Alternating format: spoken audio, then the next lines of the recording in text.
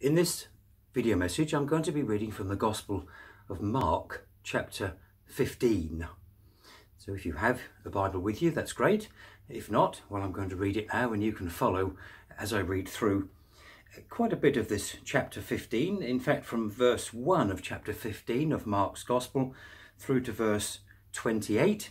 And then I'm going to cross refer to the Gospel of John and chapter 19 and just a few verses from John chapter 19. But let's look at the main body of Holy Scripture. Uh, the Gospel of Mark chapter 15 beginning in verse 1. And early in the morning the chief priests with the elders and scribes and the whole council immediately held a consultation and binding Jesus they led him away and delivered him up to Pilate. And Pilate questioned him, are you the king of the Jews? And answering him, he said, It is as you say. And the chief priests began to accuse him harshly. And Pilate was questioning him again, saying, Do you make no answer? See how many charges they bring against you. But Jesus made no further answer, so that Pilate was amazed. Now at the feast, he used to release for them any one prisoner whom they requested, and the man named Barabbas had been imprisoned with the insurrectionists who had committed murder in the insurrection. And the multitude went up and began asking him to do as he, as he had been accustomed to do for them. And Pilate answered them, saying, Do you want me to release for you the king of the Jews? For he was aware that the chief priests had delivered him up because of envy. But the chief priests stirred up the multitude to ask him to release Barabbas for them instead. And answering again, Pilate was saying to them, Then what shall I do with him whom you call the King of the Jews? And they shouted back, Crucify him. But Pilate was saying to them, Why, what evil has he done? But they shouted all the more, Crucify him. And wishing to satisfy the multitude, Pilate released Barabbas for them, and after having Jesus scourged, he delivered him to be crucified. And the soldiers took him away into the place that is the praetorium, and they called together the whole Roman cohort. And they dressed him up in purple, and after weaving a crown of thorns, they put it on him. And they began to acclaim him, Hail, King of the Jews!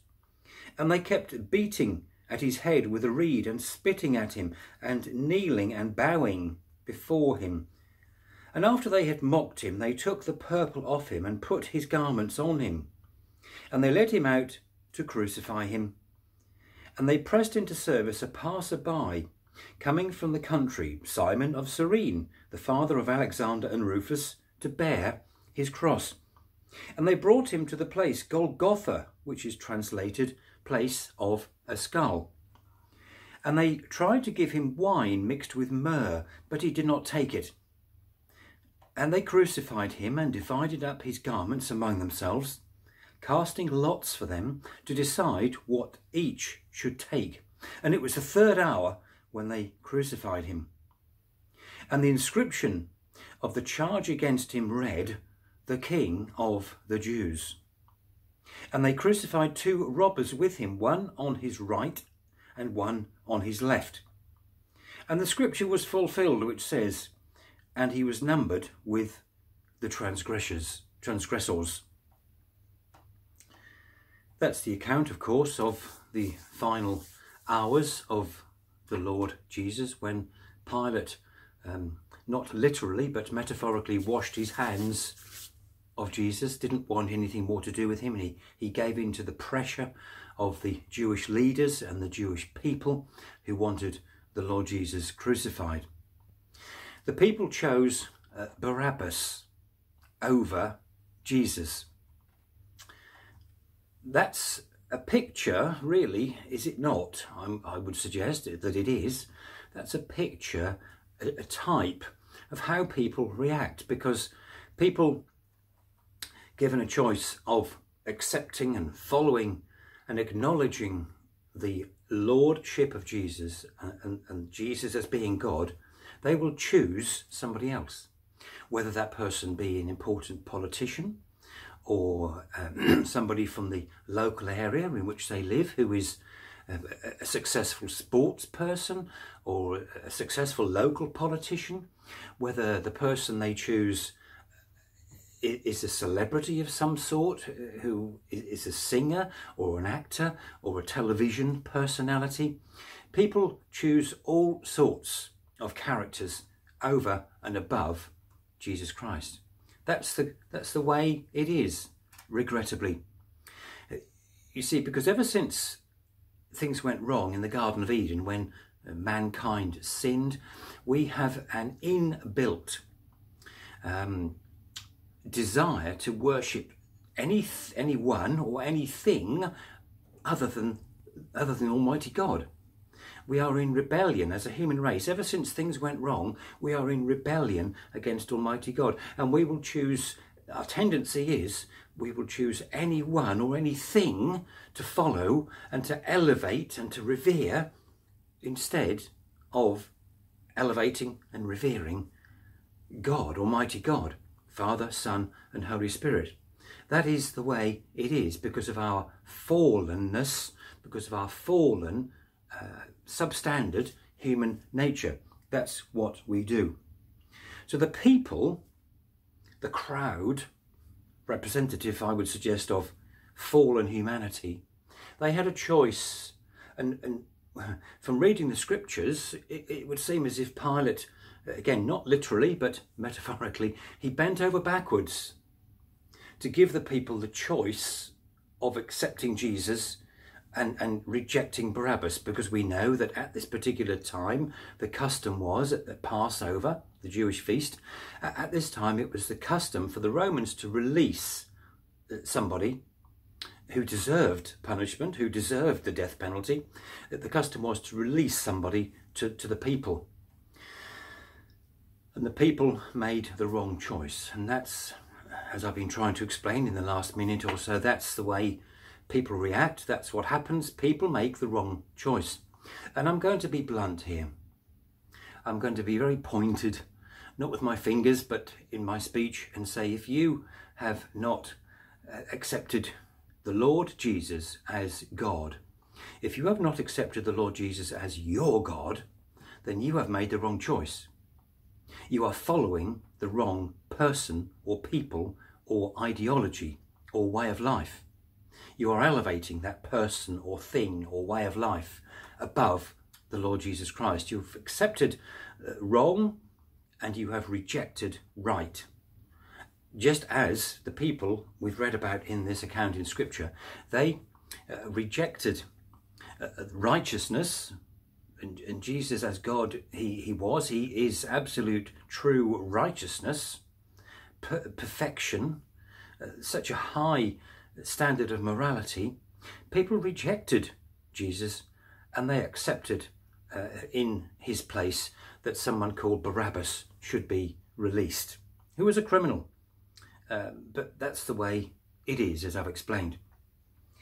So that's the, the view of the people, the crowd, they made the wrong choice. What about Pilate, who represented the Romans because he was he was a Roman, and uh, for, for maybe somebody who's not familiar with the uh, political situation at the time, the Jews were living in the land which Almighty God had given them uh, through promises way back in the Hebrew Scriptures. God had given them certain land in which to live, and they were living in the land. This is Jerusalem we're talking about here in, in particular. Um, but the Romans, uh, uh as a conquering um, empire, uh, had come and taken over. And they were the leaders at the time. They were the governing authorities, the Romans. And they appoint, they appointed governors in various regions. And Pilate here was the person who was responsible for administering this type of justice in this particular situation in this area. So we've looked at the Jewish people, the, the, the leaders and the, uh, the ordinary folk, if you like. They made the wrong choice. What about Pilate? Well, I have already, haven't I, made a, a reference to the fact that Pilate metaphorically washed his hands of Jesus. Um, it says here that there was a an inscription put above the head of Jesus when he was put on that cross, the King of the Jews. Let's look at John chapter 19 because I said I would earlier, because there is a, a, a parallel portion of scripture here. And in John, the Gospel of John, chapter 19, uh, from verses 19, from verse 19 through to 22, it says, And Pilate wrote an inscription also and put it on the cross, and it was written, Jesus the Nazarene, the King of the Jews. Therefore, this inscription many of the Jews read, for the place where Jesus was crucified was near the city, and it was written in Hebrew, Latin, and in Greek. And so the chief priests of the Jews were saying to Pilate, Do not write the King of the Jews, but that he said, I am the King of the Jews. Pilate answered, What I have written, I have written. Very telling. Three or four, four verses, three or four verses of scripture there, where again we see that the the Jews through the um, through, through the, the chief priests were saying, don't call him our king. Say that he, he called himself our king. And that again is, as I've been explaining, that's how people are. People will believe of Jesus Christ, whatever they will believe. That they want, and the same as happened in those days when Jesus was alive as a man, he was God, yet he was fully a man. People then wanted the good that Jesus brought to them. They wanted the physical healings that he brought to them. They wanted his high standard of morality and his teaching that he brought to them. But they would not accept him ultimately as, as their Lord. They would not alter their way of lives to, to adhere to his teachings. Some did, but the vast majority didn't. So the, the, the, chief priest was saying on behalf of the people there, not only crucify him, but don't call him our king. Say that he said he was our king, but he wasn't really our king. That's just, that's simply what he said. People wanted the good from Jesus, as I said, the physical healings, etc., but they would not go any further. And you know, that's that's replicated today. That's what people want today. They want the good of Jesus, but they won't accept his authority and his lordship. They want the good of Jesus because they know and are aware that uh, Jesus, to put it not very theologically sound, but Jesus is, well, it is theologically sound. Jesus is the way to heaven. They want a ticket to heaven. People think they're going to heaven because of this man called Jesus and, many people know that he died in order to allow forgiveness and he many people know something about Jesus and they want that good. They think that because he died on a cross, they are automatically going to heaven and that's where they want to go. They want the good, but they won't accept his authority. They won't accept that they must submit to his lordship. That's, that's, that's still the case today, as it was in those days. And you see, Pilate, getting back to him, he metaphorically washed his hands of Jesus. Uh, and he was saying, well, Jesus, he's not our God. He's not the Roman God. He's the King of the Jews. He's your King. Nothing to do with us. He's nothing to do with me. You, no, Pilate, again, not physically, but metaphorically, he took a step back from the situation and he rejected Jesus because of the pressure of the crowd. Yes, maybe, I, I, we don't know exactly what was going uh, through his mind, but certainly there was pressure on him to appease the crowd, to keep the crowd um, uh, silent, to silence the crowd, because he didn't want uh, some sort of insurrection and riot. He didn't want the mob to, to run amok. He wanted a, a peaceful life. So, for the sake of a peaceful life, he said, Well, Jesus, nothing to do with me. And on the other hand, you have the, the Jews who are saying, Jesus, hmm, nothing to do with us. So we have God in the middle. We have Jesus Christ in the middle. Through Pilate, the Romans, they were saying, nothing to do with us. The Jews were saying, nothing to do with us. Just like today, many people say, Jesus nothing to do with me, but I'll accept a ticket to heaven because I know that I want to go to heaven. And I know that I'm a good person, therefore I will go to heaven because that's what Jesus says. Well, that's wrong. People get that wrong all the time. People do not go to heaven because they are a good person. No, no. Because that's setting the standard of, of what is good, who is good. well, we know what the Lord Jesus said on one occasion there was none good except God.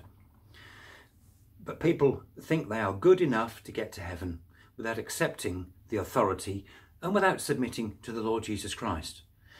You could line up a dozen or 20 people and they'll say, Jesus, no, nothing to do with me.